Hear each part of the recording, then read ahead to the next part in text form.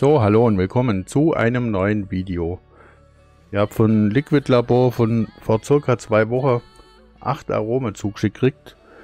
Die werden wir jetzt alle nacheinander testen in diesem Video. Es wird also ein XXL Video, wird ein bisschen länger gegangen. Bin hier live auf Twitch. Die Verena, die postet mir dann die Geschmacksbeschreibung nachträglich immer in den Chat rein, dass man dann vergleichen kann, ob ich das gleiche schmeckt, wie es beschrieben war. Also es gibt mehr oder weniger einen Blindtest. Ich weiß jetzt nur das, was, was der Name mir hergibt. Bei Marshmallow kann man sich denken, nach was es schmecken soll.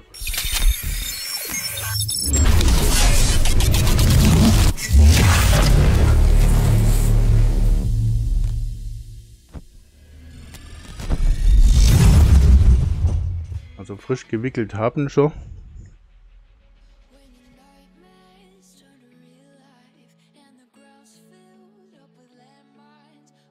Gucken wir mal, wie mir das Marshmallow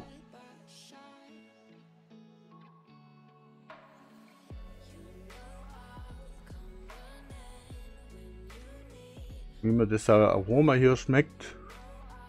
Cracker and Marshmallow.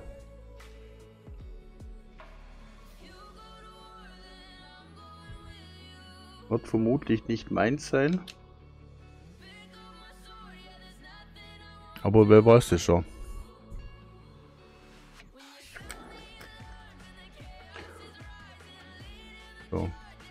Erster Test, Cracker und Marshmallow. Auf geht's.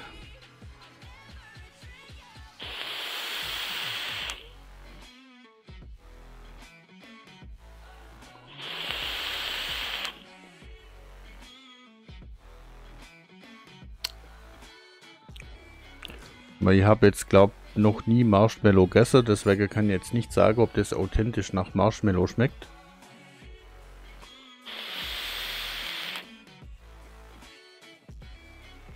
Aber ich würde ich würd sagen, das ganze Aroma schmeckt nicht schlecht. Ob authentisch oder nicht, keine Ahnung. Da ist irgendwie so ein, so ein Beigeschmack noch mit drin.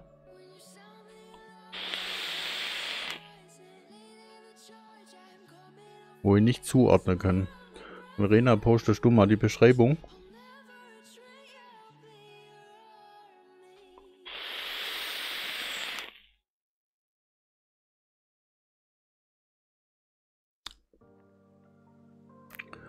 Bin mal gespannt, was Verena als kleinen Chat reinschreibt. Beschreibung vom Hersteller. Perfektes Lagerfeuer-Feeling. Marshmallow mit Cracker.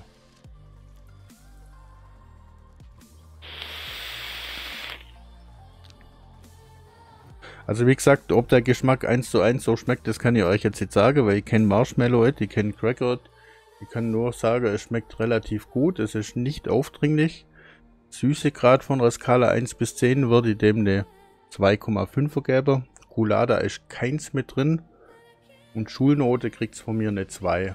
Gut. Ein Aroma mit All-Day-Charakter. Kann man auf jeden Fall gut dämpfen.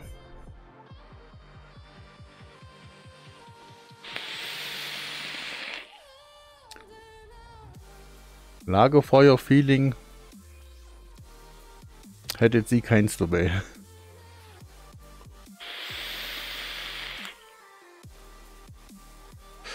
Dann machen wir mal frische Watte rein und testen wir das nächste. Zoom mal ein bisschen weiter raus. Das nächste wird dann, wird dann das hier sein. Raspberry Cream Bomb dass Verena dann schon mal die Beschreibung raussuchen kann.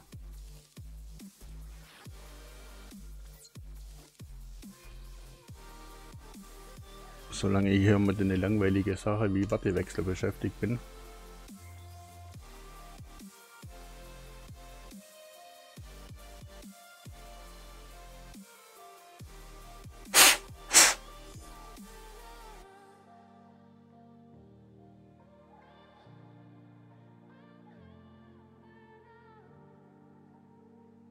verwendet er hier auf jeden Fall die Friseurwatte. Da zupfe ich mir jetzt aus dem Boller immer was runter. Wo ihr meint, das könnte die richtige Menge sein.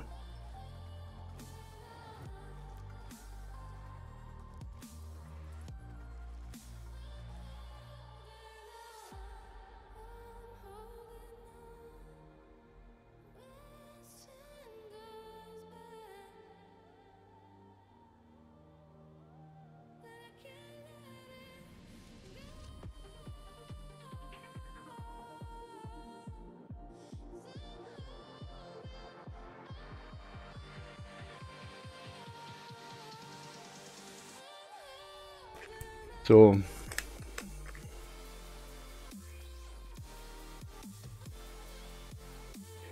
Raspberry, das ist Himbeere. Wenn mich alles täuscht.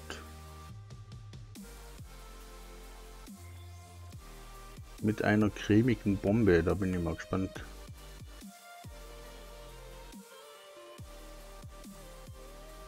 Da bin ich mal gespannt, wie mir das schmecken wird.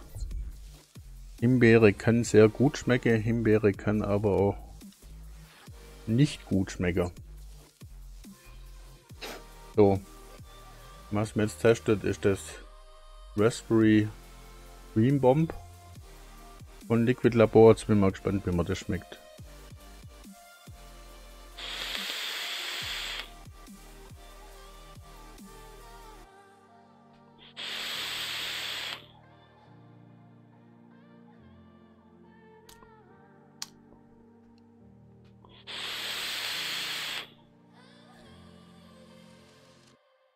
Wurde sah die Beschreibung, die, die stimmt. Das ist eine Himbeere, aber keine grüne, Bo keine, keine Bombe vom, von der Creme, sondern halt leicht cremig, also ich würde sagen eher Milch, nicht Sahne.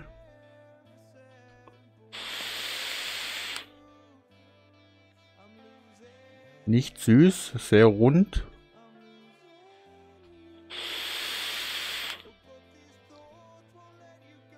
Kein Colada. Also Colada 0, Süßegrad von der Skala 1 bis 10 würde ich dem jetzt eine 3,5 geben. Also recht zurückhaltend von der Süße.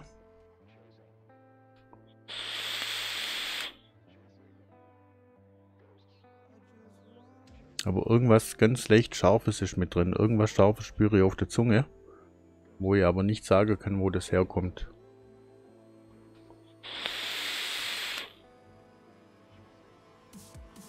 Schulnote würde dem eine 1,5 geben. Und die Verena, die schreibt jetzt wieder die Geschmacksbeschreibung. Naja, aber ich glaube, da wird halt Himbeere mit mit, mit Sahne oder irgendwas drin stand da.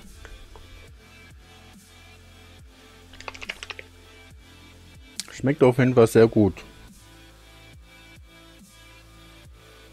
Himbeere mit Bonbon und einem Schlag Creme. Einfach herrlich. Ja.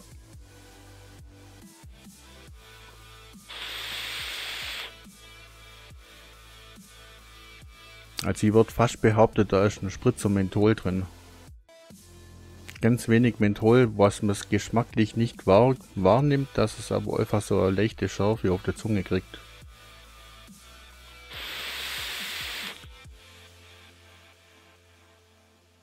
Also zu dem Aroma kann ich sagen, das kann man definitiv mal ausprobieren. Ich finde es echt richtig, richtig lecker. So, frische Watte rein, nächstes Aroma. Da ist eine Serie mit 8 Aromen, da haben wir jetzt echt ein bisschen, bisschen was vor uns.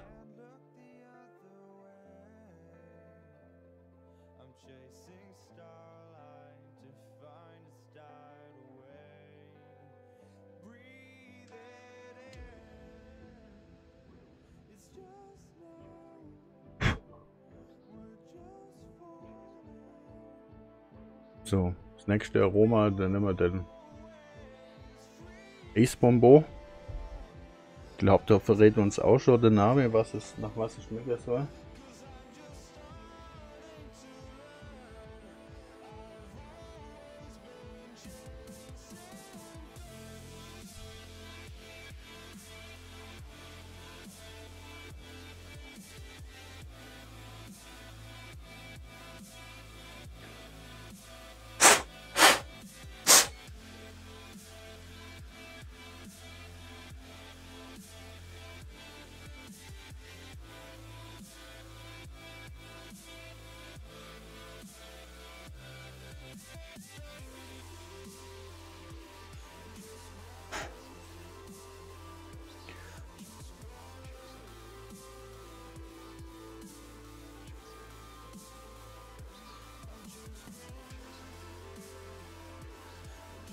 Ace Bombo wird, denke ich, jetzt einfach mal ein Ace Bombo Geschmack sein.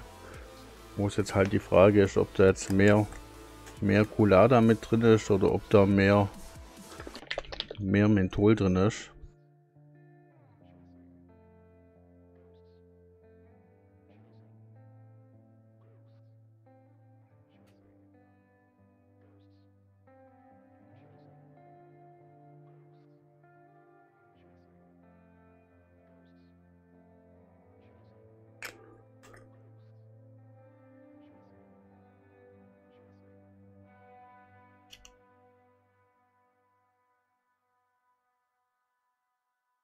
So, bin mal gespannt. Das Ace Bombo von Liquid Labor, nach was das schmeckt.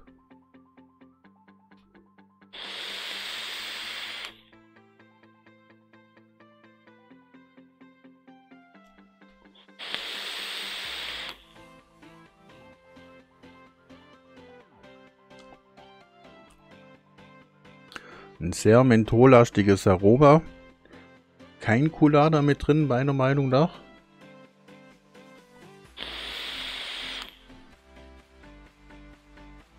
Aber mit Menthol auch nicht übertrieben, also es kommt sehr gut das Ace Bombo rüber.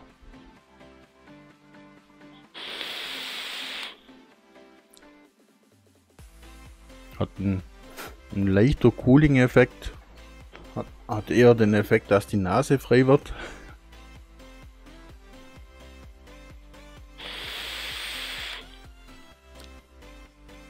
Also Coulada auf der Skala 1 bis 10 würde eine 1,5 vergeben. Das ist aber eine reine Mentholkühle. Süßegrad.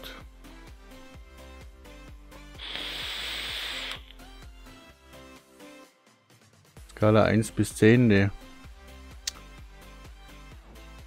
eine 3.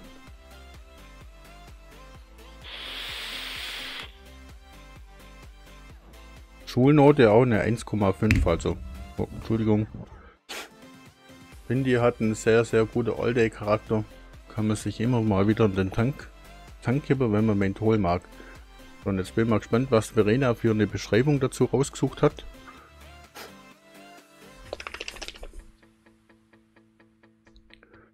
Ob da drinnen steht, dass da Menthol drin ist oder ob da einfach nur Eisbombo beschrieben wird. Wer kennt sie nicht? Die herrliche Eisbombos aus der Kindheit. Beschreibung passt. Genauso schmeckt es nämlich. Gut. Frische Watte, nächstes Aroma.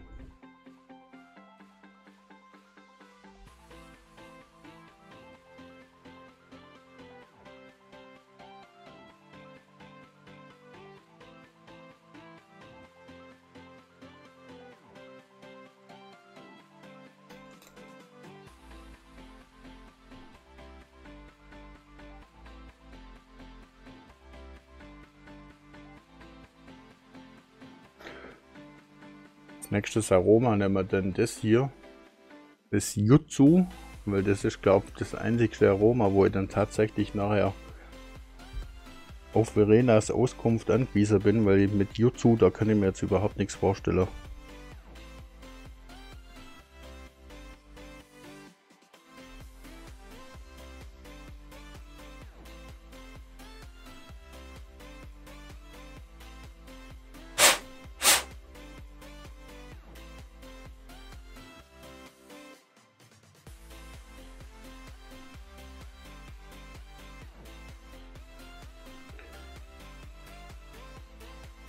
Eieieiei.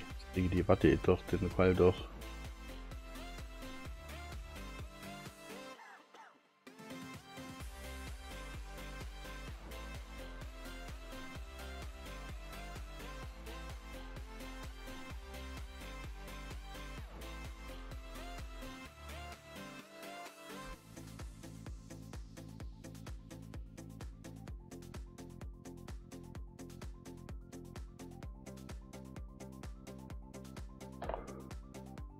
So, jetzt bin ich mal gespannt, nach was das Jutsu schmeckt. Ob ich das rausfinde.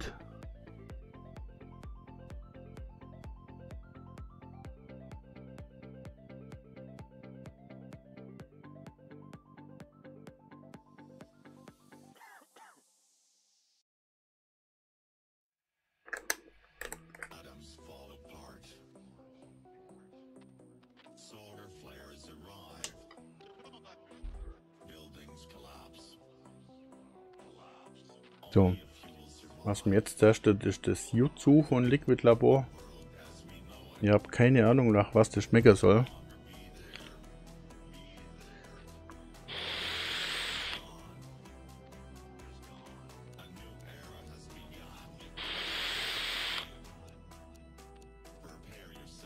Da wird die Sauce ist ein Beerenmix. Schmecke Himbeere raus. Würde ich fast behaupten, da ist eine Walderdbeere oder irgendwie sowas noch mit drin.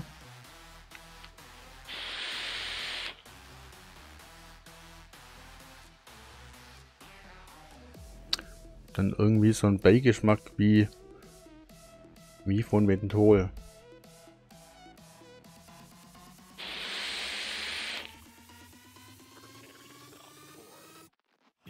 Anis würde jetzt sagen eher nein. Verena, ich glaube, ich brauche die Beschreibung.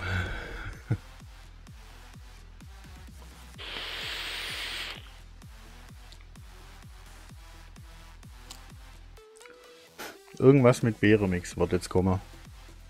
Also Colada ist keins mit drin, Cooling-Effekt 0. Süßegrad von der Skala 1 bis 10 würde dem eine 2,5 vergeben, also es ist nicht süß. Geheimnisvolle chinesische Frucht trifft auf heimische Brombeeren. Ich hatte vorhin schon nach Jutsu gegoogelt. Ist eine chinesische Frucht, die etwas zwischen Zitrone und Limette ist. Bei Liquid Labor steht leider nichts zur Frucht selber, okay? Also eine Zitrussäure ist keine drin.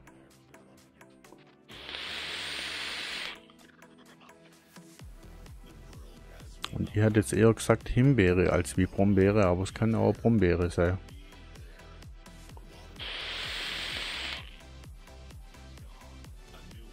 Auf jeden Fall ein sehr interessantes Aroma. Das schmeckt irgendwie anders, sage ich jetzt einfach mal. Nicht so, wie man es eigentlich normal kennt. Schulnote kriegt es von mir auch eine 1,5. Also ich finde es echt lecker. Aber eher weniger als All Day. Als All Day Aroma also. Ab und zu mal, dass man einfach mal wieder einen anderen Geschmack hat, aber All Day wäre es glaube ich nicht meins. Gut, gehen wir auf den Tisch, machen wir frische Watte rein. Was testen wir als nächstes? Nehmen wir einfach das hier. Waldmeister Vanille. Ich glaube, das sagt auch schon, was es schmecken soll.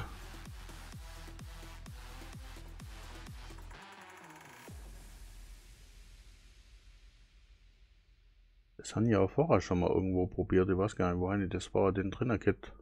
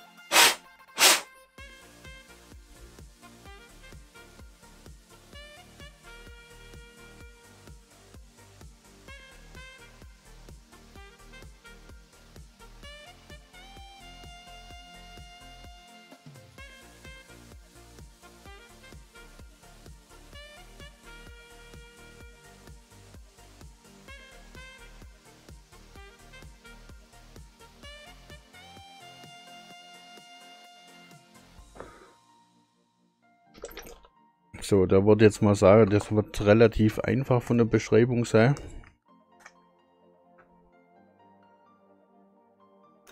Waldmeister und Vanille, diese Mischungen, die gibt es ja in verschiedenen Aromen.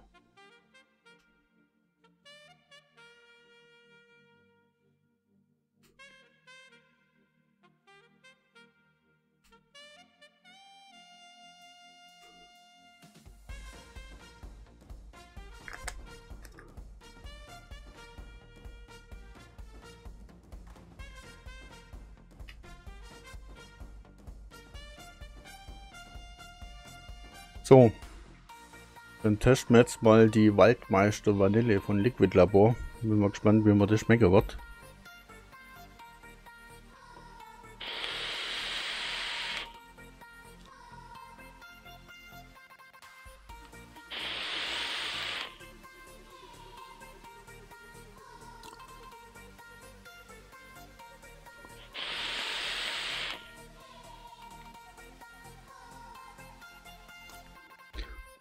Man schmeckt, dass Waldmeister drin man schmeckt, dass Vanille drin aber irgendwie schmeckt es nicht gut.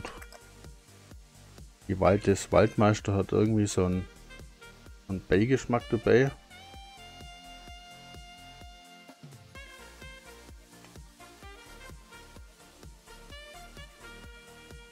Ein halber Beigeschmack, wo der einfach irgendwie dazu passt. Waldmeister kennen Sie eigentlich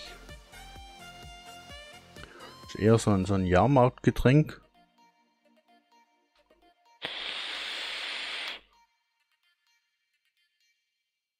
Das schmeckt irgendwie ein bisschen muffig, würde ich fast sagen.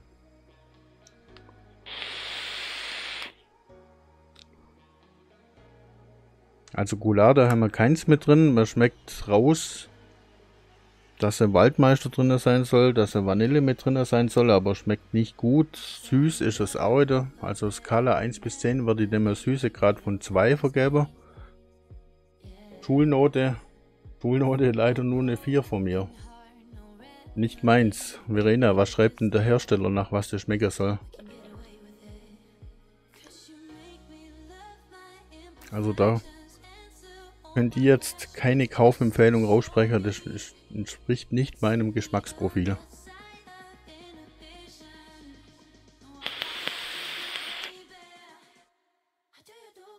Waldmeister trifft Vanille. Ein interessantes Duo.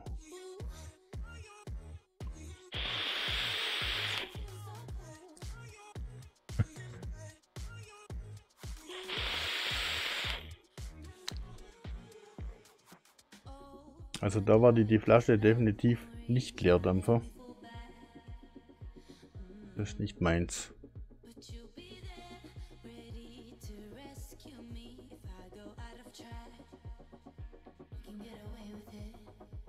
Es hat irgendwie so einen, so einen bitterer Beigeschmack mit dabei. Nicht gut.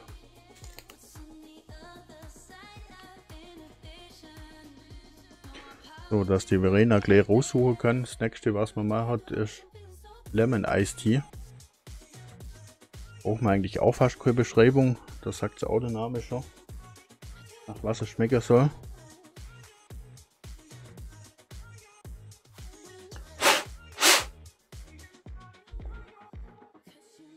da ist jetzt halt die Frage, schmeckt es eher nach Krümeltee oder schmeckt es eher nach einem, nach einem authentischer Tee?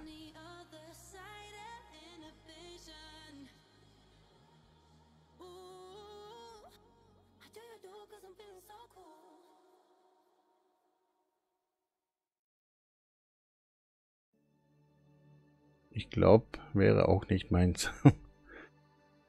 ja, es gibt richtig gute Waldmeister, aber es gibt halt auch Waldmeister, die schmecken mir zum Beispiel geiler. Aber wenn es mir halt jetzt schmeckt, heißt es nicht, dass es euch auch jetzt schmeckt. Das ist halt immer das Schwierige dabei. Das meint echt, jeder hat sein eigenes Geschmacksprofil.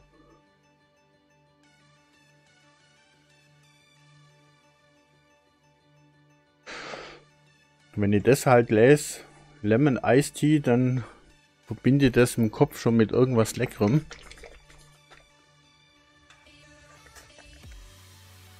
Jetzt hoffe ich mal, dass das so schmeckt, wie ich es jetzt irgendwie im Kopf abgespeichert habe.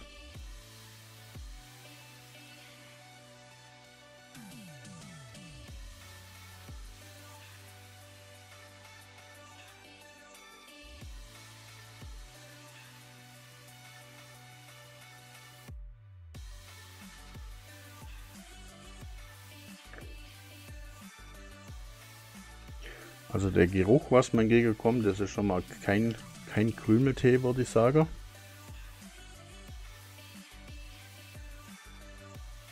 Dann testen wir jetzt mal den Lemon Ice Tea von Liquid Labor.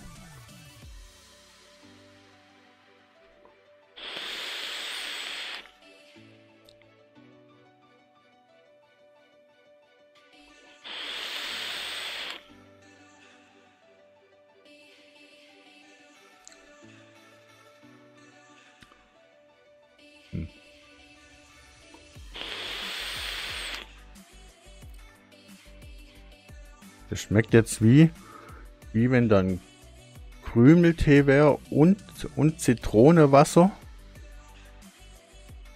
Irgendwie vermischt.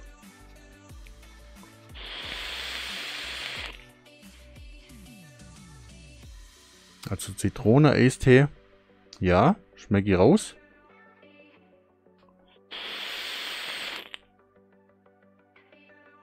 Gulada kann ich keins feststellen. Süßegrad von der Skala 1 bis 10. Eine 4.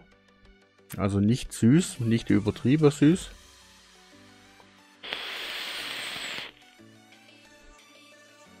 Schulnote 1,5. Also das ist eins, das mache ich definitiv leer. Das ist richtig lecker. Das kann ich definitiv weiterempfehlen. So, jetzt bin ich mal gespannt, was Verena als gleich in der Chat reinkopiert.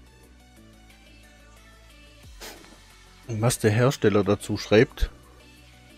Aber ich vermute mal, der wird einfach nur Eistee halt schreiben. Oder Zitrone-Eistee. Zitronen-Eistee perfekt für sonnige Tage.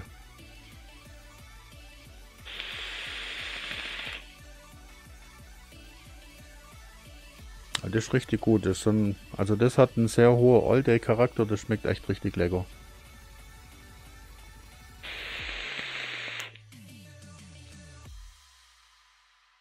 Das kann ich definitiv weiterempfehlen. So, frische Watte, nächstes Aroma. Es geht mal langsam die Watte aus.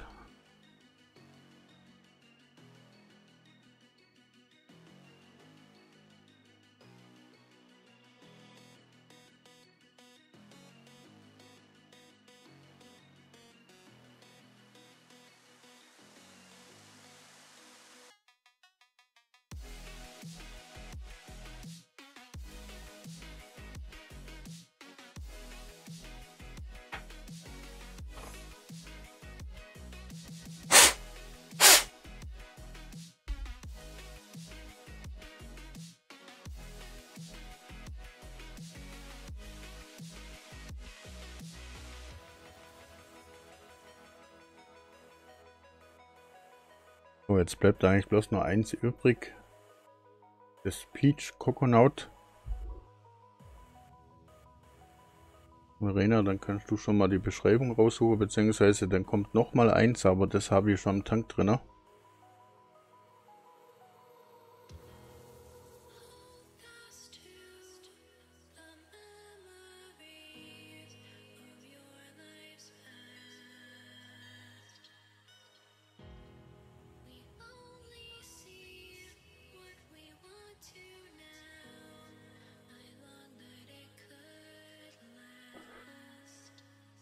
So, bin mal gespannt.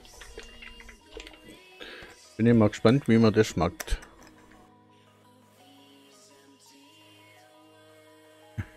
Warte, geht dann von nie aus.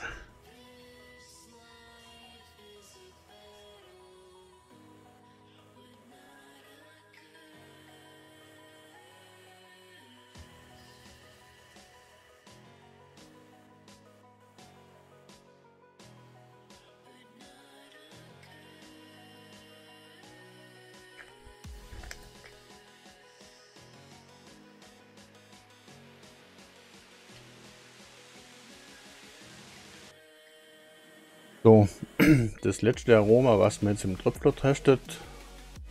Peach, Coconut, Coconut, Kokosnuss.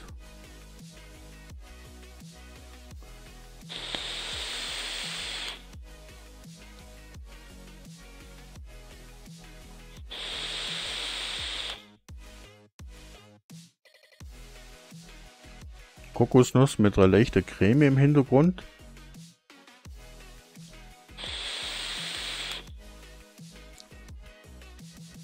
Schmeckt echt richtig gut. Das ist eine gute Kokosnuss.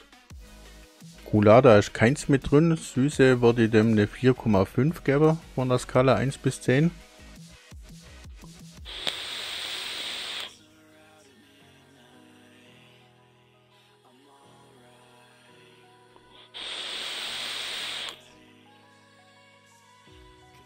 Schulnote würde ich dem auch eine 1,5 geben. Also ich finde, das ist auch richtig lecker.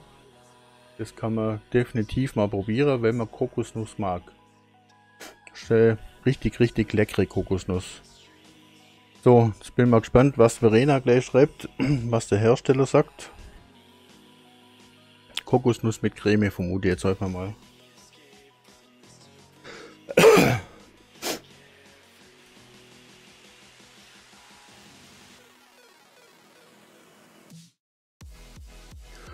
Kokosnuss mit feiner Creme und Mantel. Okay.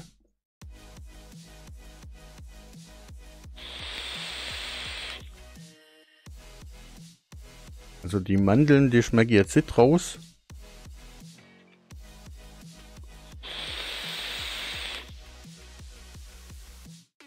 Könnte mir aber gut vorstellen, dass die Mandeln die Kokosnuss rund machen. Also das ist ein, ein sehr gut gelungenes Aroma. Und das letzte, was man jetzt testet, das ist die Schokowaffel von Liquid Labor. Und das dampfe hier jetzt im Aromameiser Plus. Den haben die vorher frisch gewickelt und haben das Aroma reinkippt. Da wird wahrscheinlich die Beschreibung relativ einfach sein. Schokolade auf Waffel oder so ähnlich.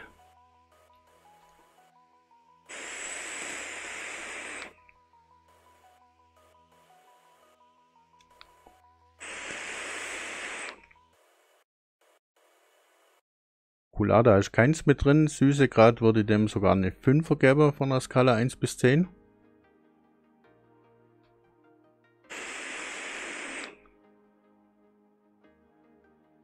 Die Waffel ist ganz klar im Vordergrund. Das ist so eine matschige Waffel wie vom Eis. Wenn man sich so Eistüte beim, beim Italiener um die Ecke kauft und die so ein bisschen matschig angelaufen ist von der, von der Schoko-Eis, was man drin hat, so schmeckt die Waffel.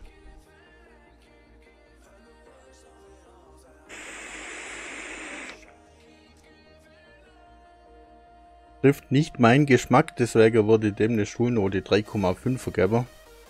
Aber es schmeckt sehr authentisch. Und was schreibt jetzt Verena gleich, nach was das eigentlich schmecken soll, wie es der Hersteller angibt?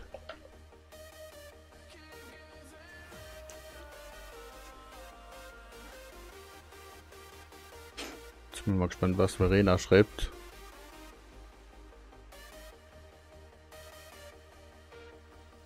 Schokolade und Waffeln. Ein traumhaftes Team. Also schmeckt sehr authentisch. Viele waren jetzt möger. Mein Geschmacksprofil trifft es leider nicht. Jetzt haben wir 8 Aromen getestet. War jetzt ein etwas längeres Video. Ich hoffe, das hat euch gefallen.